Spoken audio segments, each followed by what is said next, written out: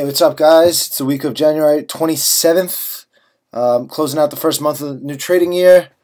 It's another weekly recap with the trading experts. All right, let's get right into it. The big news everyone's talking about Dow 20,000. Uh, we finally, you know, we were sitting up here, we tickled it a few times, but uh, never really were able to make a move through. Then this week we saw that move finally happen after the consolidation, after they kind of give a fake out move that looked like we might break down for a bit. So we finally hit it. That news is behind us. Truly, it means nothing to the market. Um, you know, it's it's just a headline grab. That's all they're really doing right there. Something to talk about. But uh, let's let's go through the overall market. Um, last we spoke last week, we were awaiting seeing which way these inside weeks were going to break up. Market had very two very quiet weeks of consolidation, and this week this week we saw that consolidation break higher, um, indicating the market's strong, and you know we've seen that throughout the whole Trump rally. People were thinking once he was inaugurated, it would we would see a big sell off, kind of a buy the rumor, sell the news type idea. Um, but you know we had a huge week up last week. Uh, but there's been a there's been a lot a lot of news over the weekend.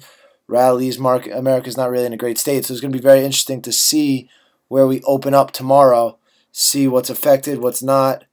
You know, people are protesting airports. Are the airlines going to sell off? There's a, there's a lot of different um, things that could happen given all the headline news. You know, hopefully we don't go back into that headline-driven market, but we'll see. We can only react, um, have game plans, and go from there.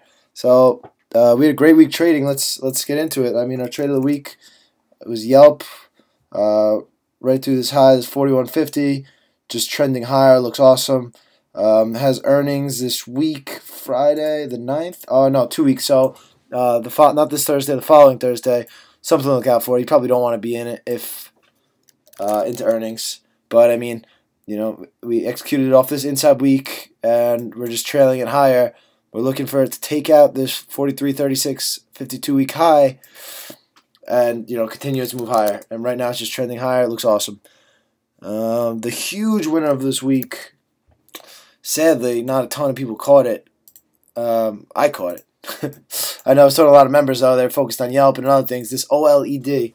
If you look back on the weekly chart, just had this huge wedge, huge monster, monster wedge, and then it tried to break the wedge lower, and we saw really at this week right here. We saw buyers as they tried to break it down. Buyers just took control and ripped it higher. That's a huge, uh, huge indicator that the stock is strong. Buyers are in control and it's ready to make that momentum move higher when it gives a fake out move and just rips sellers face off. And that's what we had. We bought it through um, this pivot right here around $59.50, $60 level. Um, I ended up I ended up selling it like 66 day two. It was just it was a nice uh, quick trade. We should still be in it because it's just so so strong. Um, got a little ahead of myself though, but I mean this this is this is what you want to see in a wedge break.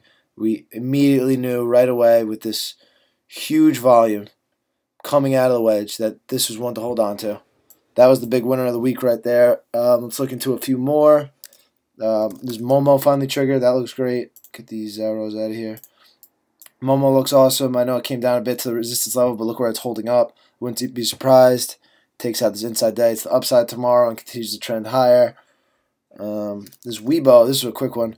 I mean, I did well with this, but I was kind of quick with it. Uh, I know some of our members stuck, stayed in it a bit. Uh, I mean, uh, it was pretty tricky. Opened up, huge volume, um, and ripped higher off the open. We'll go to 15 minute chart. Oh, that's not good enough. Okay, so this is the morning. This is the 30 minute chart, and this is this is the move. Uh, it gave right off the open. So I mean, I bought it right off the open and sold a bunch into the strength, uh, just because I know how these Chinese names can be very choppy. Um, and then look at the next you know hour and a half. It took out lows dog shit. But um, yeah, these these didn't end up being anything special. They were a nice uh, quick cash flow trade for me. This had a very similar chart to Sina. Sina looks way better actually. Um, you see how it didn't take out this day's low the day it ignited, and it's kind of holding these lows. Uh, for a swing trade, if you're if you're still in this, it wouldn't be a bad idea to add off this inside day and have a stop at these lows right here for the add. just an idea, though. Um, all right, some of the bigger news stories of the week. Uh, Google announced earnings. Let's check out their chart. So technically, they, they missed earnings technically, but their numbers, their sales numbers, their revenue, everything was really great. They just pretty much spent a ton of money of, on R and research and development. I think in a company like Google, um, that's really what you want. I mean, they're they're one of the super innovative tech companies. So I mean, it didn't have a great market reaction, but I think I think it got a little ahead of itself. Leads run ahead into earnings. I think it needs to settle out, settle down a bit, um, kind of find support. I'm, I'm going to leave this 840 area, then this 830 area, but I'm definitely going to wait till it um, gives me a signal to get long. But I'm waiting till this one consolidates and gives another move up. I'm, I'm pretty pretty certain it, it's looking to go higher. Um, what else we got? Here's Netflix. Netflix, very similar to Google, how it gapped up, huge gap up, sell off, and just needs time to consolidate. Now, you could have entered this day. This was really the day one. I know a lot of traders were on, had their eyes on it after three days down, takes out the low, reverses higher. It's usually a reversal sign. I got in Friday. I bought this 140 with a stop uh, below. I had some of my positions stop 139 below low of the day, and then some below this 138 half, the prior day's low. Um, I just wanted to have some stock, make sure I was in it, and it ended up working out uh, really well. I didn't want it to go as uh, I didn't want it to rip as much as it did Friday because I was looking to add. Let's zoom in a bit. I was looking to add over this pivot right here, this kind of resistance area, the 141. So I was hoping it just kind of stayed like an inside day, and then Monday all the eyes would get on and everyone could buy 141. I'm definitely not as excited to buy 130, 43.50 as I was uh, this 141.40 area. So I'm gonna wait a bit. I mean, I have I have good stock from good price, but I'm definitely gonna sit and wait on it before I look to add right away. Um, but I'm gonna have my eyes on this 141, 140. Again, if we open up lower tomorrow, which I kind of expect given all the headline news, um, this one wouldn't be a bad one to look to for a little red to green trade. Um, here's one one to keep our eyes on in the future. Here's this Wynn. Oh, that's what we showed it. Oh. All right, so his Wynn came out with earnings. Great reaction. Now look at this chart. Huge resistance level at this 104. Go to a weekly chart. Monsters. Monsters resistance right here. So what it did, it gapped up. I want to see it hold this gap right here and consolidate for a few days, go sideways, not do much. Um, some low volume days, just not eyes, not a ton of eyes on it.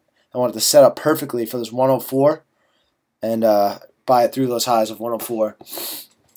Uh, I think it'd be a great earnings trade. Hopefully, it doesn't go Monday or this week. Hopefully, get some nice consolidation. But that's that's definitely one that's on the radar. Um, oh, how could I forget? Baba.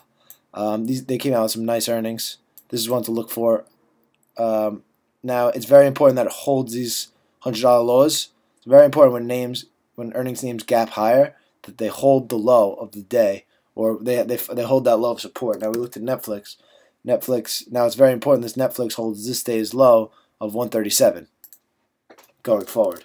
So Baba is a hundred dollar level. The closer you can get to 100, if you can get stock close to 100, um, I'd say it's a pretty pretty decent trade uh, if you have a stop below this day. Something to look at. At uh, you want to see a beautiful setup from this Friday. I completely missed it. Uh, lead this General Dynamics. Oof. Man, these are came out some nice earnings. Lead that surprise, three, three, a little over three percent. But really, I mean, lead this chart play. Man, you could have bought through these highs. What is this high? 179.19. You could have bought 180. Huge level on the chart. You tell it the consolidation at highs, and you know, hit, hit 187.37. That's that's something you know. Using the stuff we teach is very easy to take advantage of. That's that's definitely one uh, I should have been on top of, but you know, going forward, we'll we'll we'll we'll, uh, we'll be on it. This week, this week's earnings, we're looking towards. We got an exciting week this week. Facebook, huge run off lows. Um, you know, I've heard I've heard both ways. I've heard people saying, you know, someone must know something uh, because lead that run before earnings, lead this momentum, and then the other way is, you know, they're taking away the earnings move. There's no way it rips higher, no matter what the numbers are. Uh, we'll see definitely want to keep the eyes on. And everyone's favorite, Amazon. Um, they got earnings. They're right around all time highs. This is all time high, eight forty seven. They have a ton of thousand dollar thousand dollar plus price targets out there from all the big analysts and all that. So I mean, I would not be surprised at all. They beat earnings. They're nine hundred dollar stock. Yada yada yada. Amazon. Um, some other ones. Uh, UPS has earnings. Uh, Valero. Mastercard. Uh, over over 200 companies reporting. Jam packed week. So there's going to be a ton of action in the market. We'll, we'll keep you guys posted with everything. Got the trade of the week coming in a bit, but that's all we got for you guys thus far. All right, talk to you guys throughout the week. Uh, really proud of the chat room this week. We really crushed it. Ton of guys making money. Uh, everything we want to hear. Everyone's getting better. Everyone's learning. Really, really getting a community vibe out there. We love it. So we're just going to continue to improve, keep the research going, keep you guys posted. All right, talk to you guys throughout the week.